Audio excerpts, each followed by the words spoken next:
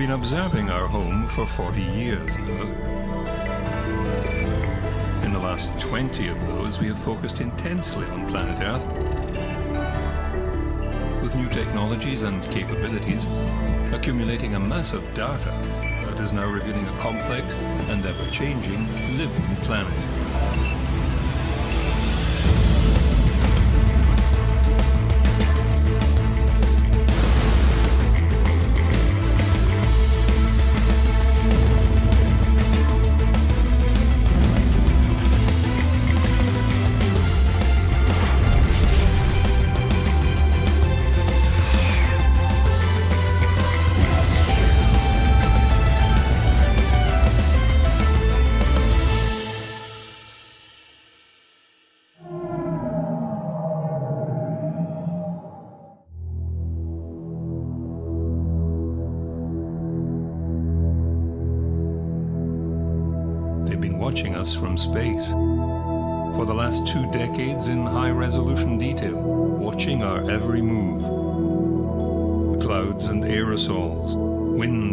Winds forests and cities, droughts and floods, the ocean currents and plankton, life in the ocean and on land.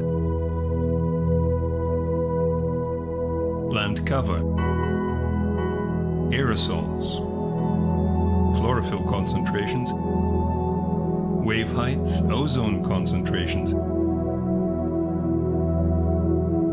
atmospheric moisture, the human footprint, sea level change, and temperatures and moisture in the soil. Now scientists have a high definition data set spanning two decades to study and to learn from.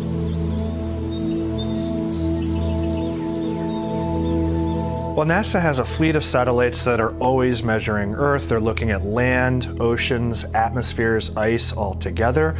Uh, the particular visualization uh, represents the measurement of all life on Earth over 20 years. I personally find it mesmerizing. Um, you're watching the Earth breathe here. The seasons are changing, ice is coming in and retreating. You can see the forests on land in green expanding and contracting.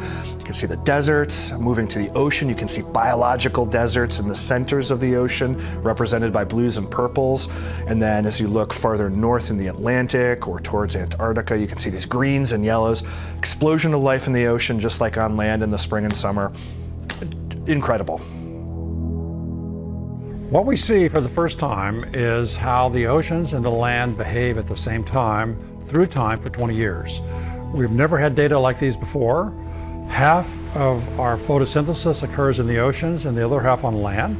And having these data to show both at the same time, day after day, month after month, year after year for 20 years, is a great tool to study life on Earth. NASA has observed many aspects of the coupled land ocean atmosphere system and how they interact. For example, we see that with warmer surface temperatures, the growing season is getting longer at higher northern latitudes and spring is coming earlier. With satellite data, we're able to map this continuously across the Earth's surface and across the United States and across Alaska. Before that time, you had to rely where you had weather stations, and so you had points here, points there, but you never had continuous data like these. So using these data, we can look over very large areas and see regional effects, and sometimes these effects are positive in that nothing bad has happened. So it's only with these data we're able to do this over all these areas at the same time.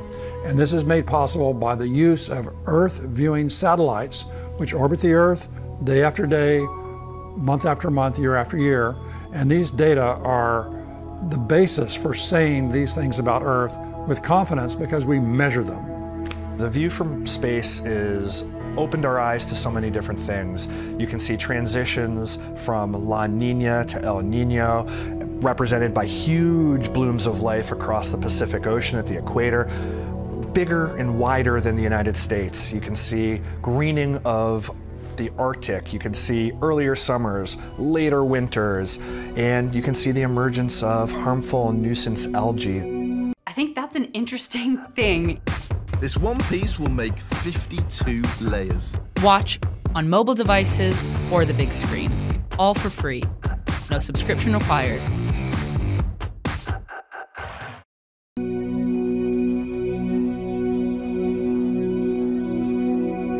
Charting the carbon dioxide cycle through the atmosphere, land and ocean is essential to understanding the environmental changes that man is driving. Higher carbon dioxide or CO2 in the Earth's atmosphere appears as red and yellow, while lower than average CO2 is shown as blue. The pulsing of the data is due to the day-night cycle of plant photosynthesis.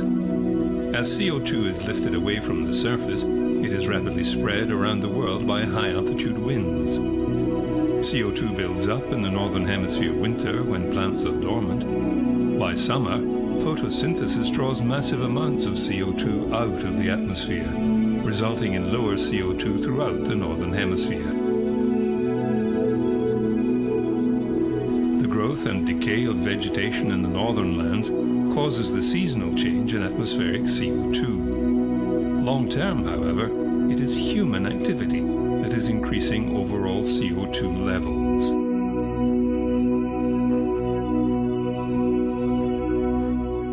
So 2017 was the second warmest year ever recorded and the warmest non-El Nino year. That makes five of the warmest years ever recorded just since 2010. And NASA scientists have taken weather station data from over 6,000 stations and we've connected the dots to understand how our Earth is changing. In this animation, you can see those warmer temperatures growing as we look at how much the high latitudes in places like Alaska have warmed since 1950. So across the globe, we're seeing a consistent trend towards warming, but with twice as much warming across the high latitudes like Alaska.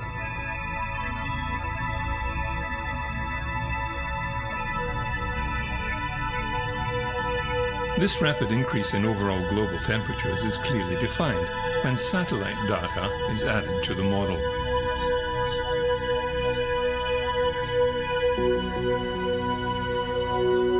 The ability to expand your senses into space, compress time, watch uh, visualizations like these, um, see how the ecosystems of land, ocean, atmosphere, ice all interact, and then be able to rewind it and watch it again and again. Um, it's, yeah, yeah, it's amazing.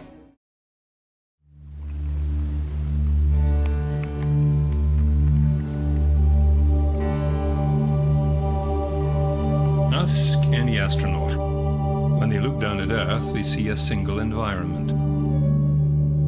No borders, no claims, just a single planet which we all have to rely on.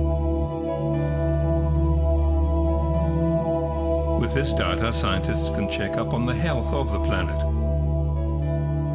One primary concern is the ozone layer.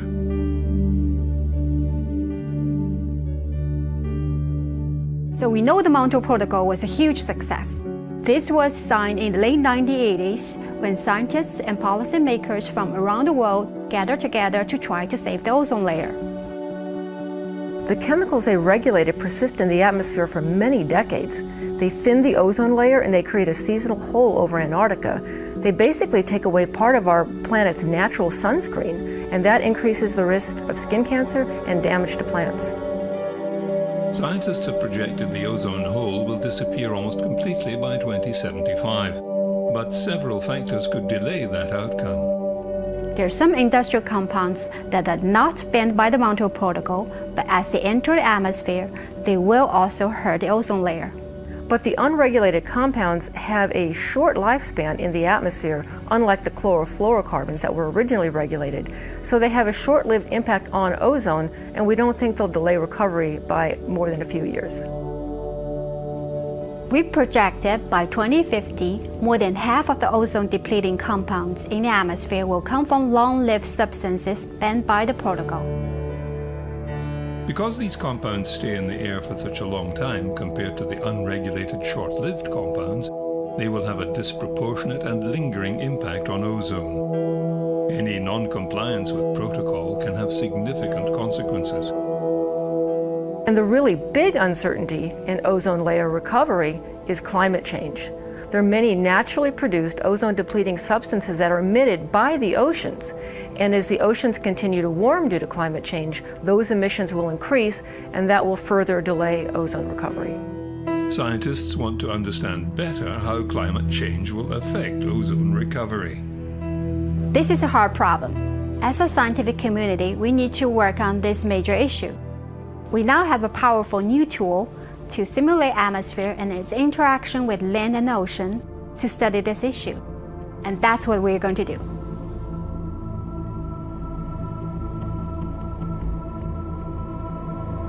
At the top of the world, however, the Arctic ice continues to shrink.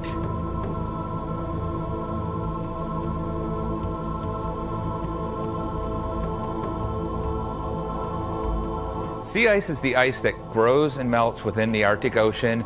It grows in the wintertime when it gets cold and melts during through the summertime. And so it doesn't raise sea level, but it's very important for the global climate system because the ice is very bright and reflective, reflects a lot of the sun's energy that comes in during the summertime and helps keep the Arctic cooler. It's like a refrigerator for the global climate system by keeping the, the, uh, the globe cooler than it normally would be without sea ice.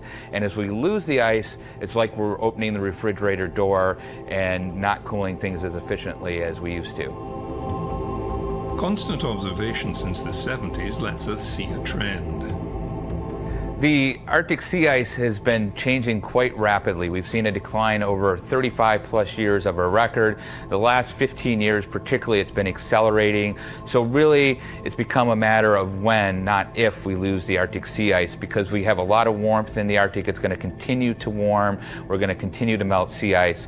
There's uncertainty as to exactly when that will happen, but sometime in the not too distant future, faster than we used to think, um, the Arctic Ocean will be substantially ice free by the end of summer. Arctic sea ice is not the only place we're seeing big changes. We're also seeing big changes in Greenland, which is the big mass of ice uh, on top of the continent. And we're seeing more and more melt. We're seeing ice calving off as icebergs. So we're seeing big masses of, of ice loss over the last uh, several years. That means that that ice is going into the ocean. That's raising sea level. So that's going to have big impacts down the road as we continue to lose more and more ice from Greenland. Ancient air bubbles trapped in ice enable us to step back in time and see what Earth's atmosphere and climate were like in the distant past. Today we stand on the threshold of a new geologic era which some term the Anthropocene, where the climate is very different to the one our ancestors knew. We can see that a warmer world means that there's an impact for warming temperatures in the Arctic, melting sea ice. That sea ice leads to larger sea level rise. So NASA scientists are on the ground in airplanes and using our satellite data to understand how what starts in the Arctic doesn't actually stay in the Arctic. The hope is that all this data collection will mean that real-world problems can be reassessed and new angles explored. A case in point, dolphin and whale stranding. Could this accumulated satellite data help address the problem? Cape Cod in the US state of Massachusetts is home to one of the most frequent marine mammal stranding sites in the world. If we can get there quickly and provide supportive care, they have a much better prognosis in terms of survival. Scientists know very little about why these mammals strand, and only a quick and efficient response in these events will save lives. Katie Moore works on the front line and has fine-tuned rescue efforts. If we can develop an algorithm that pieces together the different variables that may be causing mass strandings or driving mass strandings, then we have the ability to then prevent them. We can have teams that are out on the shore looking for animals in those hot spots, knowing that all those variables have come together and this is the likely point in time where we're likely to see it. But we can also have teams ready to respond so that if they do strand, we're there that much faster and more animals will survive the event. Marine biologists from the U.S. Bureau of Ocean Energy Management were also looking at this problem. For the large proportion of these strandings, the animals are across the ages um, in pretty good health, and there's no really immediate evidence as to why they actually strand. One possibility is geomagnetic perception, the ability to navigate using Earth's magnetic field, which is believed to be used by marine mammals. Could changes in the magnetic field confuse the animal? Geomagnetic pulses or storms can be caused by space weather. Geomagnetic perception is one of the theories, and I thought, well, hmm, if a magnetometer can pick it up, maybe the animals actually can pick it up. Dr. Reeb consulted with NASA at the Goddard Space Flight Center. The coolest thing was that we realized that nobody had really taken a cold, hard data science analysis look at the problems. What we were trying to look at here was if there was a potential driver or, or relationship or correlation between the occurrence of mass strandings and any solar activity. The data that we have correlated or analyzed so far is information about the local geomagnetic conditions. We have long data records from geophysical observatories of the local geomagnetic field variations and marine mammal stranding. Their analysis was inconclusive. They needed more data from other environmental conditions. Easy fix correlation between a geomagnetic pulse and, oh, a stranding doesn't seem to be very evident, but what it does show is that there are multiple variables involved in this equation, and that the geomagnetic storms could just be one very small part of it. Significant still, but it looks like there are multiple oceanographic and environmental elements. With more data in hand, it was time to expand the team. They recruited statisticians and the expertise of NASA Earth Science data analyst and oceanographer Erdem Karaköylü. A data set, no matter, no matter its shape or, or content, always has a story to tell. Trying to figure out um, how different data are connected, I think, require a, a, a wide diversity of skills and, and uh, background knowledge. For example, I'll be explaining how a mass stranding occurs and how we respond to try and understand why I'm presenting the data in a certain way. And my colleagues from NASA will, will look at me and ask questions that I wouldn't think to ask because I take for granted my understanding. And they're coming at it from a totally new angle with no background. These data sets may reveal a pattern, allowing scientists to predict the likelihood and location of mass stranding before it happens we've really just sort of slowly peeled the first layer of this onion back. And I think that there's so many more layers that still need to be addressed and looked at. And I hope that we can actually find additional collaborators, additional funding partners to really bring all the data that's really available to really give this the study and the scrutiny that it deserves. And we are also going to make all these data sets available to the entire scientific community so that we can utilize the entire scientific community to take an attack and, and, and you know, uh, uh, approach this problem. I think that there will be other things that to take and run with, uh, get new ideas, maybe add more data. And I'm hoping also that will be a, a model for how um, uh, projects can then be open to um, the wider public.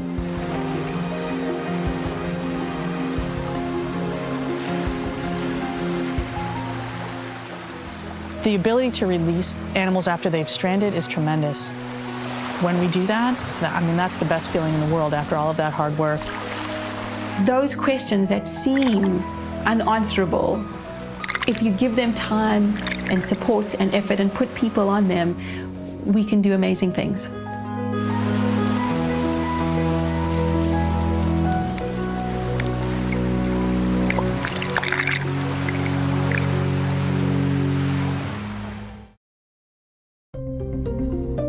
Data from satellites reveals the interconnection between air, sea, and land. This is a visualization of three aerosols dust, smoke, and sea salt. CALIPSO satellite data reveals in 3D how dust from the arid Sahara Desert is lifted by the winds each year and transported nearly 5,000 kilometers across the Atlantic Ocean. Some of it settles in the Amazon basin, the largest rainforest on the planet. Sahara dust contains phosphorus, an important nutrient for plants. CALIPSO shows that on average, 182 million tons of dust leaves Africa each year. When the Sahel was dry, the dust transport to the Amazon in the next year would increase. When it was wet, dust transport would decrease. We can now track global precipitation, wind currents, cloud cover, and ocean temperature. Satellites have detected a shift in phytoplankton populations across the planet's five great ocean basins, showing the expansion of biological deserts where little life thrives. Diatoms are one of the most abundant types of marine phytoplankton, but a new 15-year-long NASA study reveals global populations have declined. Diatoms, like all phytoplankton, have chlorophyll, the same photosynthesizing pigment as plants. They occupy the surface of the ocean, where they harvest light from the sun. In large numbers, diatoms form colorful swirling blooms that can be seen from space. According to the study, significant decreases in populations, shown here in red, are mainly in the northern hemisphere. Diatoms rely on nutrients such as nitrate, silicate, and iron to reach the surface layer where they live. What a study shows is that the availability of these nutrients has changed due to the way they cycle within the water column. Diatoms occupy the surface area of the ocean called the mixed layer. Nutrients collect on the ocean floor and are cycled up to this layer. Various physical forces can cause the depth of the mixed layer to become shallower, so that fewer nutrients reach the diatoms. Without these, their populations decline. This map shows areas on the globe where the depth of the mixed layer shallowed. It's hard to pinpoint exactly why this change have happened. Things like wind, circulation, and temperature can affect the way these nutrients are brought to the surface layer. We hope a longer study can yield more information on whether these changes are in fact a trend or variability.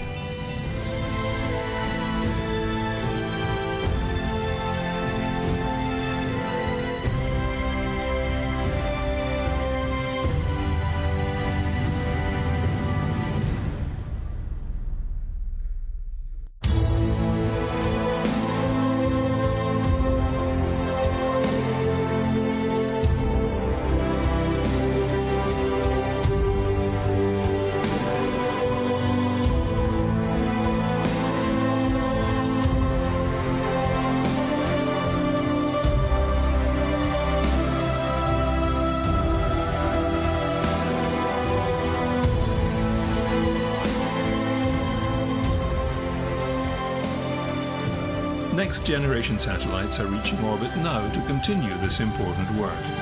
They will collect data, maintain observation continuity, and allow scientists to track the changes in our environment. They can then model dynamic simulations to better understand this unique planet and the myriad of life forms that rely on it.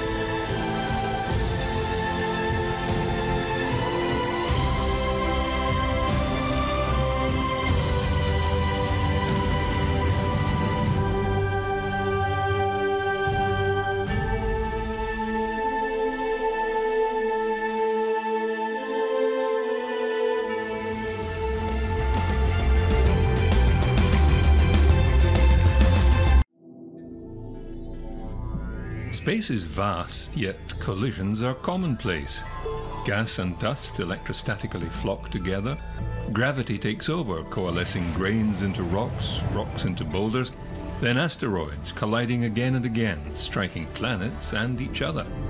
Stars collide, creating monsters of light and energy.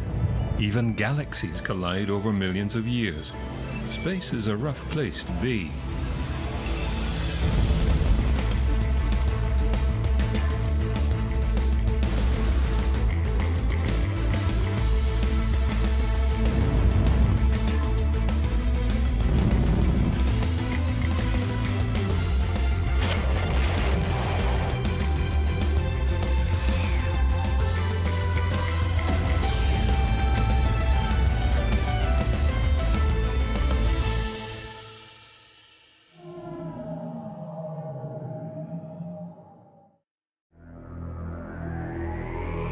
peaceful night sky cloaks a hidden danger.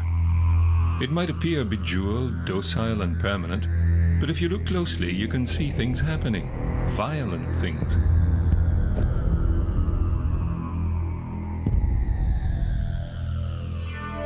Stars engulfing planets and each other, protoplanets colliding, explosions rippling through gas clouds, triggering the birth of young stars, black holes devouring everything in their path.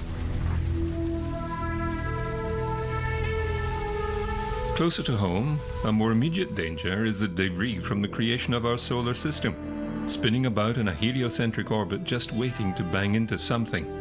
Something like Earth. Collision avoidance is the name of the game, and we now have the technology to do something about it. Catalina Sky Survey and other survey programs are really sort of the start of the whole planetary protection ecosystem.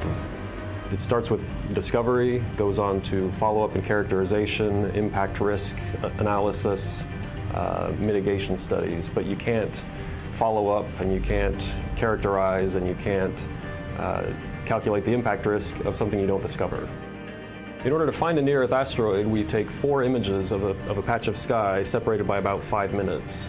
And we take those four images and we blink them really fast and it creates this little animation. So we can see that the stars in the background are static as they should be. And if there's anything that's moving, it'll pop out. And our software compares those images and identifies things that are not moving, which are stars, and removes those, identifies things that, that are transient from frame to frame, and tries to link those up.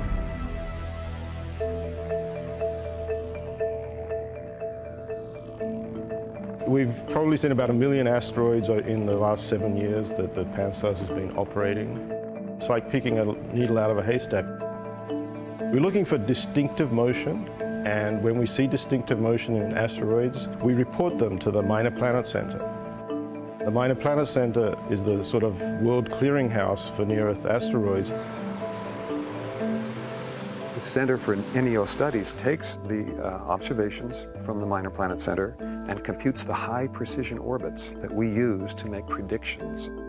CNEOS is also kind of an early warning system for newly discovered asteroids. We take the early data and we compute whether or not that asteroid could hit the Earth. If there's a chance, we'll send out an early warning and alert for follow-up observations so that we can get more data, and then we would know perhaps whether it can hit the Earth or not. Asteroid impacts are a fact of life. The Earth has been impacted by asteroids continually through its history. We saw in 2013 in, in Russia a fairly small, by the standards of what we're finding, asteroid did hit the Earth. I feel a little bit like a guardian of the planet and doing my bit to try to protect people. It is a, a, a long-term process. It's going to take many, many years to find all of the dangerous asteroids. The goal is to find near-Earth asteroids before they find us.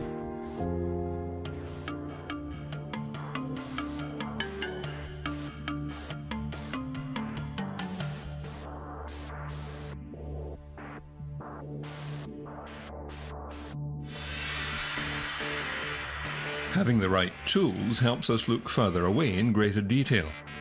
The Hubble Space Telescope was one such tool that was able to capture the first spectacular impact seen in our solar system. The Shoemaker Levy 9 cometary fragments which struck Jupiter, leaving a surprising impression. Even more remarkable was the recent arrival of an interstellar object. It was a special day when this object was first uh, discovered. Uh, we have been waiting for the discovery of an interstellar object for decades, basically. Well, when I first heard about this interstellar object, it was very exciting just from a scientific point of view that finally there's uh, been an actual observation of such an object. This object is simply a piece of another solar system that was expelled, and it has been traveling through interstellar space for hundreds of millions of years, billions of years, we don't know. number of our uh, survey projects and other observatories uh, immediately turned their telescopes to take observations of this object. From the observations we have so far, it uh, looks like it's a very elongated object, uh, maybe uh, about a quarter mile in length. We think this object, 2017 U1, is very long, perhaps 400 meters or so long, and very narrow, skinny, perhaps maybe 40 meters or so in the other dimensions. That's a very unusual shape. We don't see that in our solar system. None of the asteroids in our solar system look like that. So it's very puzzling how it could have obtained this shape. We also see that it's uh, uh, very reddish, uh, in color, which uh, indicates that uh, it's been uh, uh, possibly in space a, a long time and irradiated by not only the light from our sun, but other suns as well. Well, there's still quite a bit to learn about this interstellar object and, and limited time because it's on its way out of the solar system. It's fading very fast. It's a relatively uh, small object, so it's very dim. But we are continuing to try to use NASA assets like the Hubble Space Telescope and Spitzer to take uh, observations to determine more about its uh, size and composition. NASA's Planetary Defense Coordination Office has a near Earth object observations program which funds efforts that survey the skies to look for near Earth asteroids and to calculate their orbits and their trajectories and to determine if any of them might pose a hazard to Earth. And as part of doing that, some amazing discoveries can happen, and the discovery of this interstellar object was one of them. As our observational capabilities improve, Pan-STARRS has been getting better, other surveys have been getting better. There are a new generation surveys that will come online. We will be detecting more of these in the future.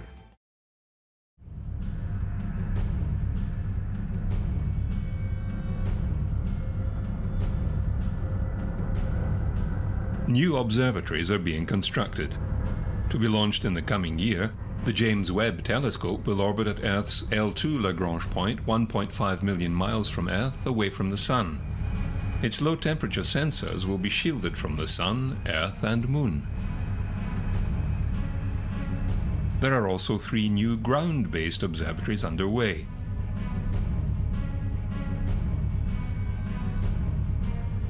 A multinational project being built in Hawaii, the 30 meter telescope, or TMT, will use 492 hexagonal elements, each about 1.44 meters, to construct the single primary mirror of 30 meters diameter.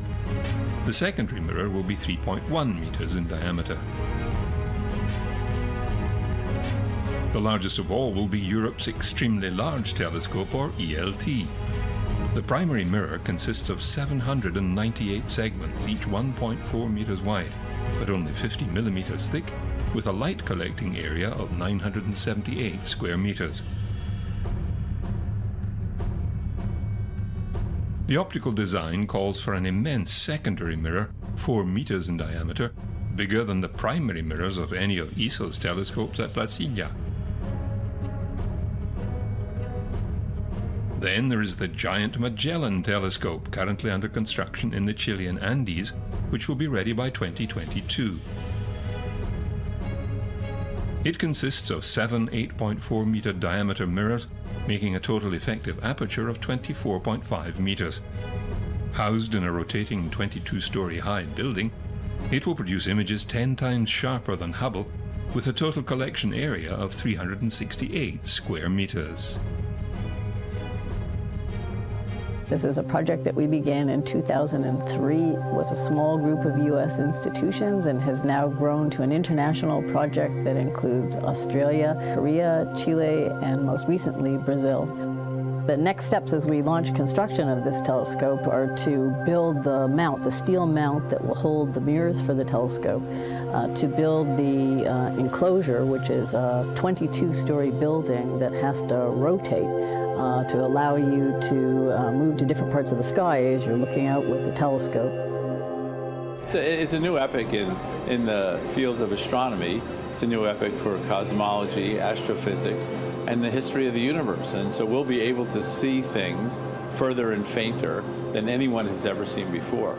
And it just takes us to that next level of technical capability, and these technical leaps are what enable new discoveries. The first four giant mirrors for Magellan have been manufactured. Number five is underway, as is construction at the site in the Chilean Andes.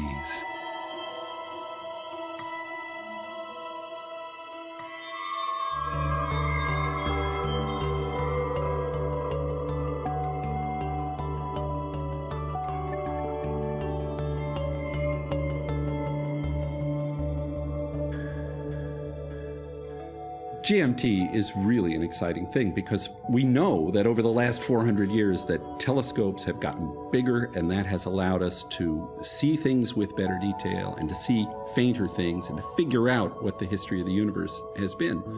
Our technology for doing this is getting better and better. We're able to build big mirrors and we know how to do this. We know how to build GMT. We know how to build its individual mirrors and put them together. We know that when you build a telescope view and the GMT will have a, a, view that is 10 times sharper than the Hubble Space Telescope.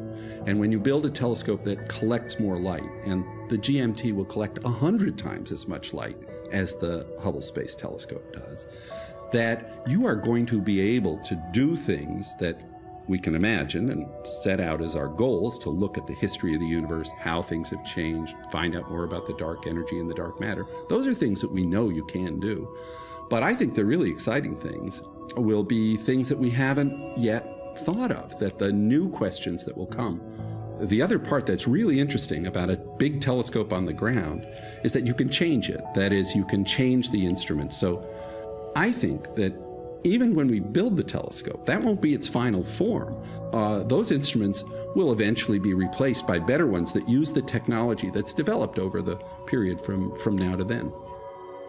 We know that uh, the universe has changed from a very homogeneous kind of uh, goo at the time of the Big Bang into a highly differentiated world where there are planets, stars, galaxies, clusters of galaxies. The universe has gotten kind of interesting and complicated through the action of gravity over time. We'd like to see how that works. And uh, by looking at what happened long ago, which means looking at very distant, very faint galaxies, and looking in detail, which means having the resolution to kind of really see what's going on. No doubt revealing cosmic collisions far back in time and space.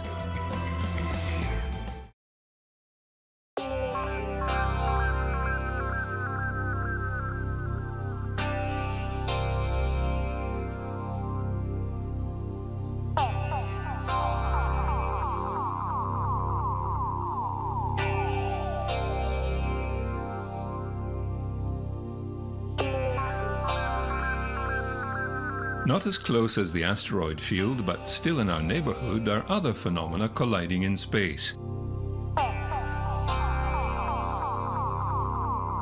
Out beyond the edge of our galaxy, the Milky Way is a cloud of hydrogen gas called Smith's Cloud, after its 1963 discoverer, Gail Smith. It is traveling at 312 kilometers per second and is about to collide into the Perseus arm of our galaxy well, in 27 million years or so.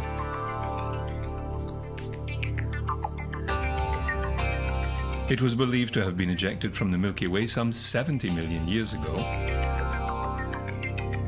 Why is still not known, but when it collides with the galactic arm, it will trigger a brilliant burst of star formation with enough gas to produce over 2 million stars.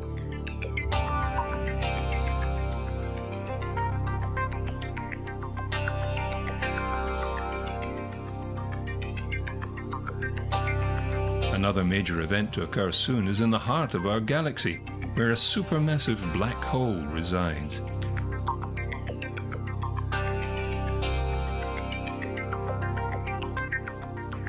This black hole's mass is a hefty 4 million times that of the Sun.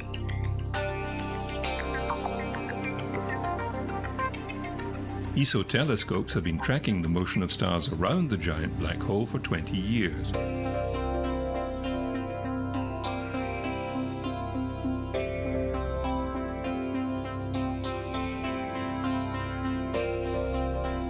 Although huge, it is currently supplied with little material and is not shining brightly. But that is about to change.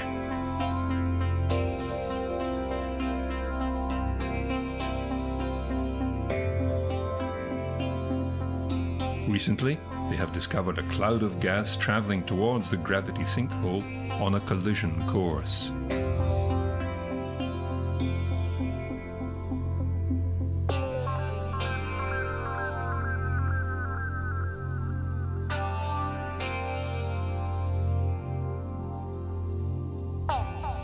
The cloud consists mainly of hydrogen gas, gas which we see anyhow in the galactic center all over the place. This particular cloud weighs more or less three times the mass of Earth, so it's a rather small and tiny blob only, but it glows very brightly in the uh, light of the stars which are surrounding the cloud. We really don't know where the cloud came from, but we do know that most of the material which is uh, currently flowing into the galactic center black hole comes from stellar winds, material which is ejected by nearby stars. And could be that this particular cloud also was coming from a you know star ejecting material, but happened to produce a very compact and, and directed right at the black hole. Well, the next few years will be really fantastic and exciting because we are probing new territory. Here, this cloud comes in, gets disrupted, but now it will begin to interact with the hot gas right around the black hole. We have never seen this before. We expect it gets hotter. It may even start emitting X rays, very hard radiation, and then it gets disrupted. And then in the end, we expect it to fall into the black hole uh, once it's sort of going through all of this churning. As the astronomers watched, the cloud has been picking up pace as it gets closer to the giant black hole.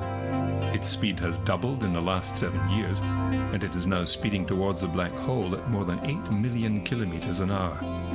The astronomers have already seen the cloud's outer layers becoming more and more disrupted over the last few years as it approaches the black hole. The black hole, imagine it sitting here, has a tremendous gravitational force, and the cloud, as it comes in, it will be elongated and stretched. It will become essentially like spaghetti. It will be elongated and falling into the black hole.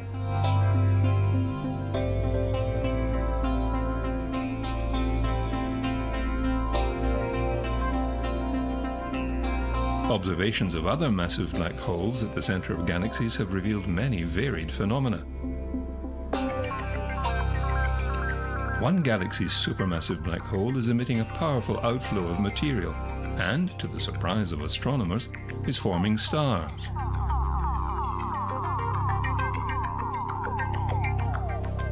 Results from ESO's Very Large Telescope are the first confirmed observations of stars forming in this kind of extreme environment. The discovery has many consequences for understanding galaxy properties and evolution. Black holes at the centers of galaxies still hold many secrets.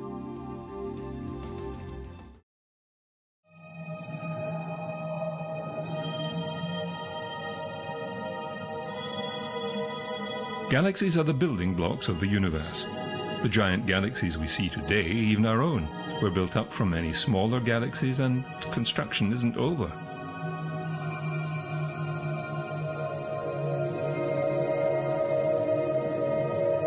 Today, full-grown galaxies approach and interact with each other. They may collide and eventually merge, growing larger and more influential.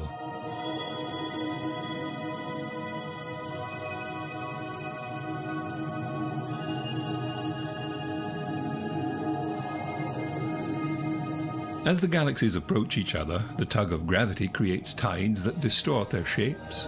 Stars and gas stream into new orbits, Sometimes they're completely ejected, trailing into the depths of intergalactic space. Clouds of gas are compressed in the chaos and ignite with intense rounds of new star formation.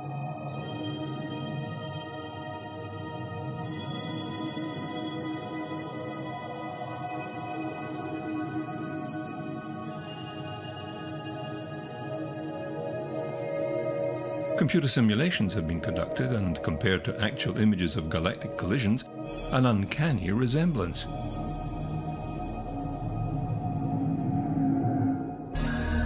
Because stars create most of the chemical elements, each galaxy has a particular chemical makeup.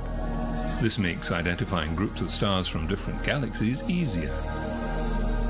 This infrared image of our sky shows our point of view of the Milky Way, half a billion stars. Most are in our galaxy, some belong to companion galaxies that orbit our Milky Way, and some are in between. Astronomers have discovered that some groups of stars belong to a different galaxy called the Sagittarius Dwarf Elliptical, and the Milky Way is cannibalizing it.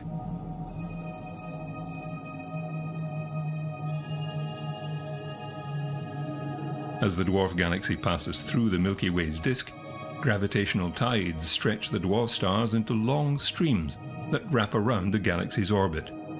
For the dwarf, it's a fatal attraction. For the Milky Way, just another one of several similar events in its history.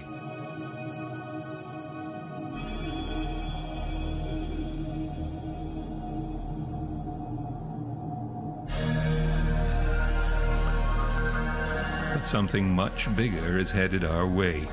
M31, the Andromeda Galaxy.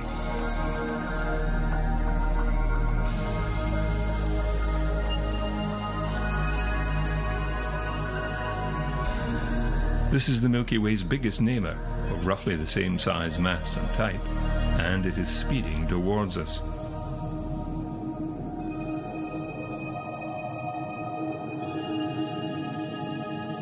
Astronomers say the crash will begin in about 2 billion years. Supercomputer simulation shows how the event may unfold over billions of years.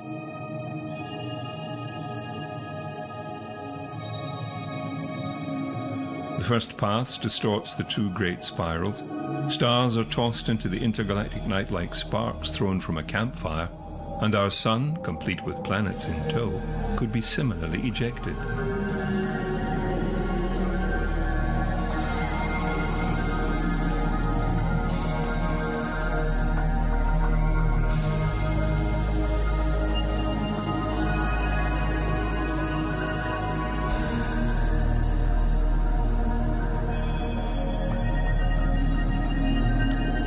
Gravity will eventually merge Andromeda and the Milky Way into a bigger single entity.